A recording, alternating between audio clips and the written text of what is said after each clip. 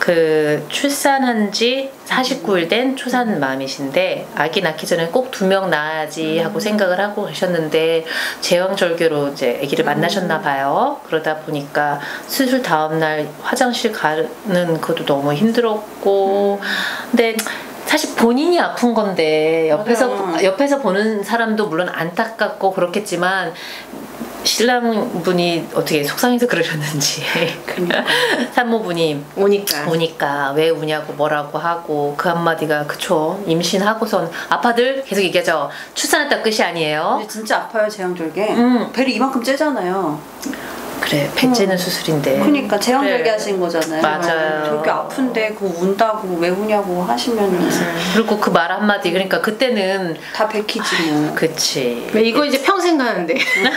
그 둘째를 낳으셔야겠다. 회복하는 과정이 필요하시니까. 근데 정말 아파요. 근데 음, 근데 이제 저는 여기서 더 안타까운 게 뭐냐면 이 본인의 건강 상태 때문에 한 달 일찍 출산을 했는데 음, 이제 자기가 좀만 조금만 더 버틸 걸 하는 생각이 너무 미안해서 그리고 아니에요. 그러다 보니까 둘째 낳을 때도 또 반복이 될까봐 이 무섭다고 얘기를 하시는 게 좀 안타깝네요. 음.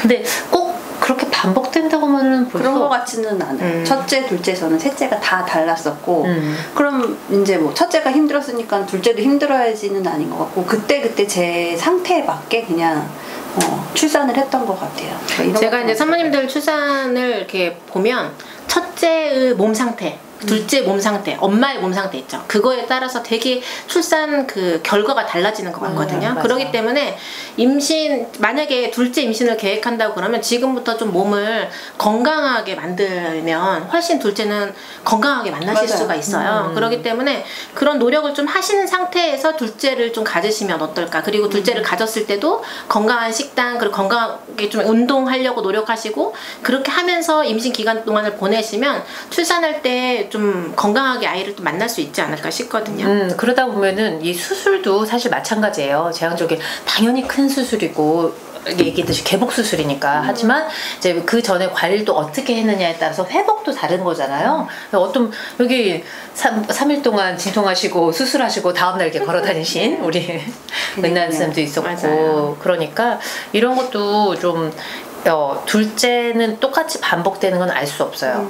근데 그래도 좀 더 상황을 좋게 만들 수 좋게는 있어요. 만들 수 있어요. 음, 그런 걸 좀 생각을 하셔서 또이 아픔, 아팠던 마음을 좀 잘 치유가 됐으면 좋겠네요. 저희가 이제 찍은 마마 TV 내용 중에 유도훈맛이 필요한 것들, 유도훈맛이 요구할 수 있는 것들에 달린 네, 댓글에 대한 내용이었고 사탕솜님이 적어주셨거든요. 근데 이거 보는데 눈물이 줄줄 흘리셨다고 이제 적으시면서 5년 전에 첫째 낳을 때 유도분만을 했는데 30시간 내내 간호사한테 혼난 기억밖에 없대요. 네, 근데 너무 진짜 마음이 진짜 짠할 것 같아요. 자기는 되게 아픈데 옆에서 이렇게 막 잘하고 있다 이렇게. 얘기하지는 못할 만정 계속 못하고 있다고 얘기를 들으면 허리로 진통이 와서 똑바로 눕지도 못하겠는데 똑바로 안 눕는다고 혼나고 나는 있는 힘껏 힘주고 있는데 그렇게 힘주면 어쩌냐고 혼나고 힘줄 때 다리 똑바로 못 잡는다고 혼나고 산모님보다 애가 더 힘들어한다고 혼나고 생명을 만나는 건 정말 신비한 건데 혼 만 나다 아이 만나서 너무 힘들었어요. 이제 이 댓글을 보면서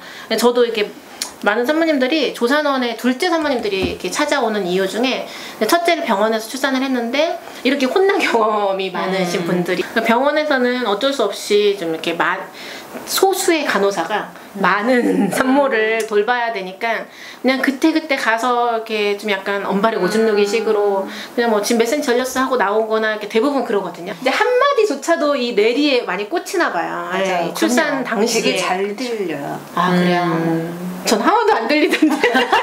우리 둘만 쓰잖아. 조용해서 나안 했잖아. 내가 기억하고 싶은 것만 기억하나 보다. 음. 아. 어쨌든 그런 게콱 박히는 말들이 이렇게 좋은 말일 수도 있고 음. 이렇게 부정적인 말일 수도 있을 것 같아요. 음. 정말 그 한마디 했는데 그게 계속 메아리 쳐가지고 또 맺힐 수도 있을 것 같아요. 보니까. 제가 둘라 그 10년 전에 둘라 저희 이제 양성 과정에서 같이 하셨던 분들이 그때 당시에 저 10년 전이니까 제가 30대 때 음. 그러니까 그분들 한 50대에서 이제 산후 도우미분 이제 관- 훈련 받으셨던 분들도 좀 많이 오셨어요. 근데 50대 후반 뭐 이런 분들도 있으셨거든요. 근데 이제 둘라 과- 양성 과정을 하면서 이제 자연 출산에 대해서 이제 얘기를 서로 나누는데 어떤 분이 그러니까 본인이 한 30 몇 년 전에 출산하신 거죠. 근데 그때 간호사분이 자기 엉덩이 쪽을 때리면서 애 이러면 죽는다고 하는 거에 그게 아직도 생생하게 기억이 남는다는 어, 얘기를 하면서. 어, 굉장히 그랬어요. 제 친구도 아기가 한 명밖에 없는데 출산을 할 때 그렇게 혼냈대요.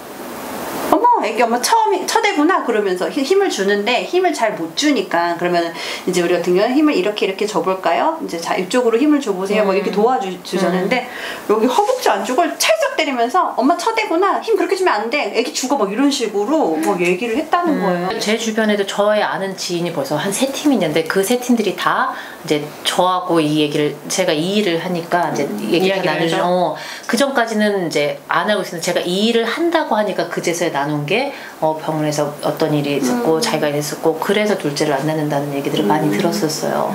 그래서 우리가 또 우스갯소리로 얘기를 한 게 연예인분들 출산을 할 때 보면은 어 진정한 자연 출산은 연예인들 출산이 아니냐면서 왜냐면. 굉장히 소수의 인원이 계속 밀착으로 있으면서 잘하고 있다 하겠죠. 마, 어, 말도 그렇고 공존하게 그러니까. 존중받으면서 그치. 그렇죠. 출산을 하는 맞아요. 음. 그러니까 그분들이 뭐, 뭐, 무통을 했다, 뭐, 회음부 절개를 했다, 뭐, 이런 거에, 그런 거에 가지고는 전혀 아니잖아요. 존, 내가 이 순간에 이 고귀한 생명을 만날 때 내가 존중받고 보호받으면서 애를 낳는 건지, 나, 나 생리기간이 오나 보다. 아우, 욱하네. 그러니까 보호받아서 낳는 건지, 아니면은 그, 내 이 생명을 만나는데 너무, 아. 아, 사실은 엊그저께 그 동물농장에서 팬더가 출산하는 게 나오더라고요. 되게 힘들게 낳잖아요. 어, 힘들게 나왔는데 그 사육사 분들이라든지 이런 분들이 어떻게든지 이, 이 그러니까 좀 뭐랄까 편안하게. 편안하게 음. 주려고 음, 뭐도 깔아주고 불도 어둡게 해주고 정말 팬더 한 마리가 그치. 이렇게 소중 왜 전세 2천 마리밖에 없으니까 하나를 하겠다고 그렇게 하는데 어 우리 엄마들도 그렇게 좀 음, 존중받으면서. 받으면서. 네. 그러니까 제 지인도 저랑 이제 제가 조산사니까 저한테 막 얘기를 하면서 자기는 출산은 정말 생각하고 싶지 않다. 자기는 딱 뭐라고 표현하냐면 내가 인간이지 인간이지 않구나. 얘네들이 어. 나를 다루는 이 태도가 내가 인간이 아니라 동, 마치 내가 애를 낳는 하나의 기계, 기계. 동물도 그치, 아니야. 그치. 기계처럼 그치. 여기고 나를 대하는구나. 이 생각이 너무 화가 나서 그분도 그래서 둘째를 안 어, 갖는다 우리 사촌 아가씨도 그 얘기 하셨어요. 똑같이. 이제 어. 많은 병원에서 어쩔 수 없이 좀 이런 왜왜 이렇게밖에 할 수 없는지를 따지면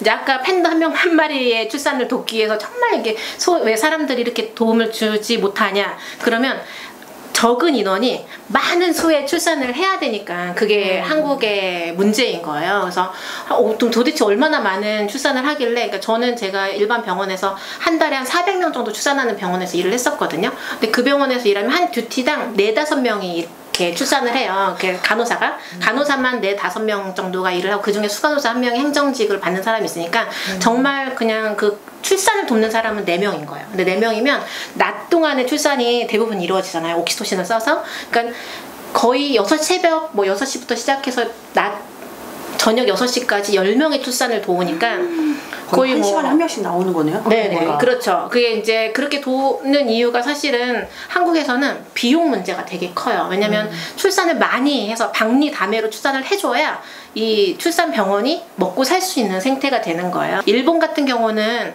출산을 하고 그리고 일주일까지의 케어 동안의 비용을 한 산모당 400만 원씩 주거든요 그래서 400만 원씩 주고 산모님이 일주일 동안 케어 받는 동안에 병실료도 본인이 내요 한뭐 하루에 10만 원씩. 그런데 한국 같은 경우는 출산을 하면 60만 원 정도 평균 주거든요. 자- 정산 북만료로 나라에서 이 병원에 지급하는 비용이 그래요. 그러니까 많이 출산을 해야 이 출- 여성병원이라고 하는 곳 그리고 산부인과 의원이라고 하는 곳이 살아남을 수가 있는 거예요. 근데 출산율이 높았을 때는 옛날에 왜 있었던 그 삼성 제일병원이라든지 차병원이라든지 이런 큰 병원들이 다 산부인과부터 시작했거든요. 그리고 거기서 돈을 다 벌어서 지금 대학병원 정, 이렇게 큰 병원까지 될 수 있었던 게 출산율이 높았기 때문에 그래요. 그런데 지금 현실은 산부인과 하면 사실 먹고 살기 되게 어려운 지금 상황이 된 거예요. 출산율이 저조하고 사람들이 출산하러 많이 안 오니까 설명을 드렸어요. 자체의 문제이고 어떤 개인의 문제는 아니라는 얘기인 거예요. 네, 나라의 건강보험 체계 문제인 거죠. 네, 그 부분이 제일 크죠. 네, 만약에 비용은 비용적인 부분을 많이 이렇게 투입을 하게 되면 조선사들이 그렇게 아니면 죽어요 이런 말안 할까요? 네, 소수의 그렇 아, 당연히 그, 당연히 밀려서- 그렇죠. 지금 조선원이 한, 한국에 아홉 개밖에 없어요. 먹고 살기 힘드니까 대부분의 조선원이 다 없어진 거고 산부인과 또한 다 없어지고 있거든요 지금.